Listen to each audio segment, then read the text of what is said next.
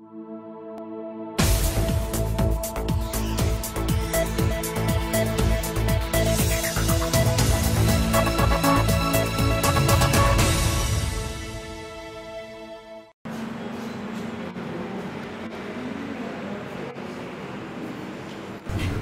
ื่อวันพุธที่ 12 มีนาคม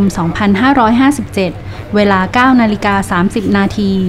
สถาบันรับรองระบบการผลิตผลิตภัณฑ์การเกษตร มหาวิทยาลัยแม่โจ้ ได้จัดให้มีพิธีรับมอบใบรับรองมาตรฐาน ISO IEC Guide 65 โดยนายศักชัยศรีบุญซื่อ เลขาธิการสำนักงานมาตรฐานสินค้าเกษตร และอาหารแห่งชาติ เป็นผู้มอบให้กับผู้ช่วยศาสตราจารย์ ดรจำเนียนยศราช อธิการบดีมหาวิทยาลัยแม่โจ้ ในฐานะผู้กำกับสถาบันรับรอง ระบบการผลิตผลิตภัณฑ์การเกษตร มหาวิทยาลัยแม่โจ้ หลังจากนั้นจึงเป็นพิธีมอบใบประกาศให้กับเกษตรกรที่ผ่านมาตรฐานดังกล่าว ณ ห้องประชุมกรรมการสภาชั้น 5 สำนักงานอธิการบดี